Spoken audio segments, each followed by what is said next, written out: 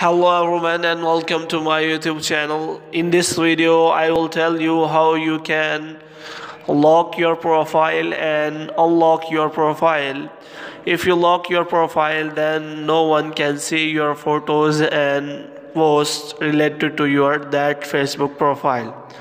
For this you have to click on three lines if you want to lock your profile and go to your profile section after that you have to scroll down in your profile and click on three dots. As you can see in the video you will find option of lock profile.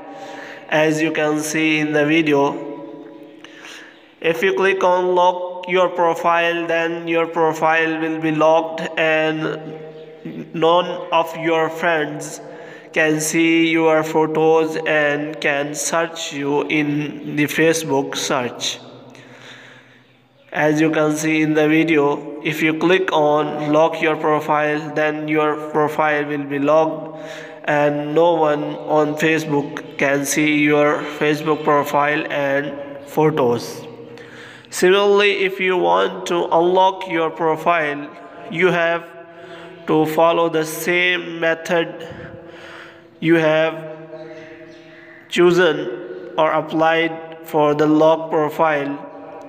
As you can see in the video you have to click on unlock profile and click on unlock then your facebook profile will be automatically unlocked and your friends can now see your photos and other posts your related to your facebook profile I hope you have enjoyed this video and like this information.